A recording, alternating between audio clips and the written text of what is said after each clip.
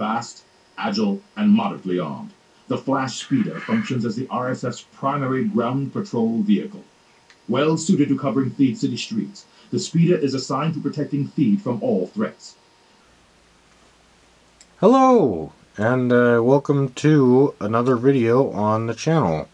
Um, this will be a short little video um, just going over the Imperial Flash Speeder MOC that uh, I've just made. And the reason why I've made it is because I've decided to commit to making a uh, sort of last stand of Naboo um, MOC and uh, yeah I've decided that on this one as opposed to um, the Sand Green Sanctuary that on this one I'm going to go ahead and I'll build the entire MOC first um, and then uh, make different videos on different sections of the MOC um, and sort of walk through them and uh, yeah I, I hope that that format works out better um, but uh, we'll go ahead and just take a look at this one now um, so as you can see I've also got the uh, Rebel flash speeder as well as the normal flash speeder. Um, and uh, yeah so the Imperial flash speeder um, we'll go ahead and we'll move the Rebel uh, flash speeder off to the side um, and we'll just take a look um, purely comparing uh, the two of these um, the relatively normal one um, with the Imperial one.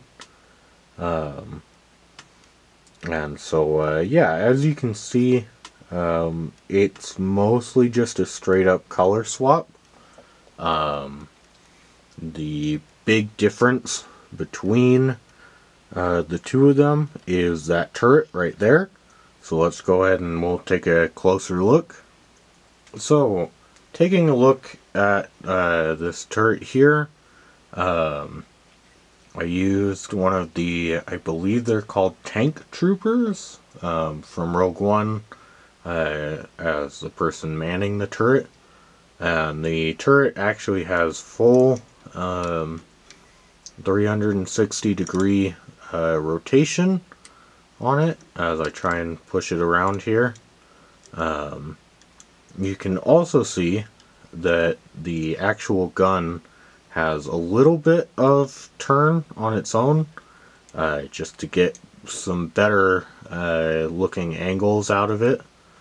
Um, parts wise, there's not really too much interesting. Um, the most interesting part uh, would have to be this crosshair piece. Um, which that actually came from a Lego Batman movie set. Um, uh, on Bricklink quite a while ago now. Um, I ordered quite a few of those because I thought they'd look cool in the situations just like this, and uh, I think it works out pretty well. So taking a look at this side over here, um, you can see pretty clearly that I've added in this uh, dark blue stripe. Um, I figured that would be a good way to break up the uh, color to make it so that it's not just a big gray blob. Um, and I think this dark blue stripe, um, I think that works out well for that. I think you could interpret it as like a, a police stripe almost. Uh, and uh, then taking a look at it versus the original, um, you can see there's really not too many differences, just real small ones. Um, but most of the differences in the color. Taking a look here at the back, um, you can see that uh, the main difference is that I've added this uh, box piece that has the Imperial logo on there.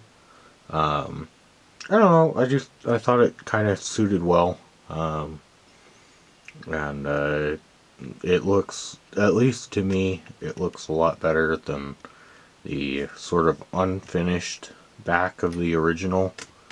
Um, but obviously that's up to uh, everyone.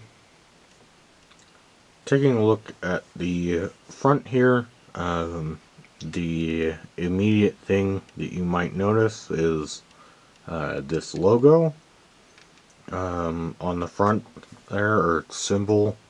Um, it comes from the Magna Guard Starfighter, and the only uh, dark bluish gray piece that I had of this had it on there.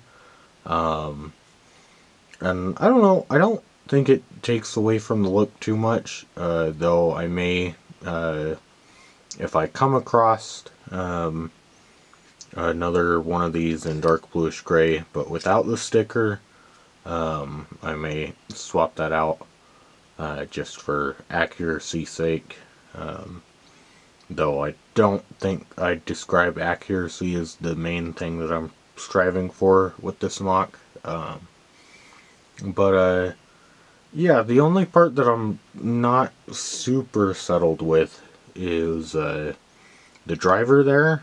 Um, taking a look at the uh, the driver, um, you can see he's wearing the uh, one of the first order uh, helmets, uh, one of the weirder looking ones um, with that large uh, back there. Um, and the reason why I've got him wearing that is because the original Naboo guards have this sort of a hat um, that's got this big flap on the back. And I wanted to try and capture something very similar, but um, more imperial looking. And I think what I've settled on uh,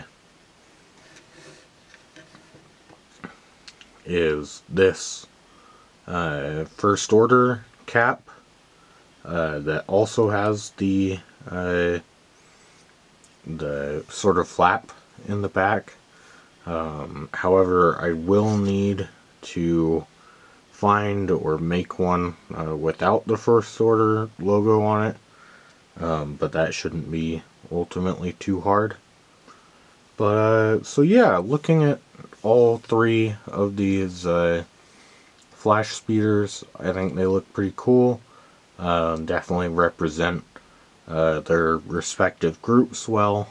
Um, I think that the Imperial Flash Speeder will contrast uh, quite well with the Rebel Flash Speeder in this MOC. and um, I'm glad to show you guys uh, this part um, because this, while not being an insignificant part of the MOC, um, it will definitely be a smaller aspect to it. Uh, and so I, uh, I look forward to showing you guys the uh, rest in the future. Um, and so, uh, yeah, I hope you guys enjoyed and bye bye.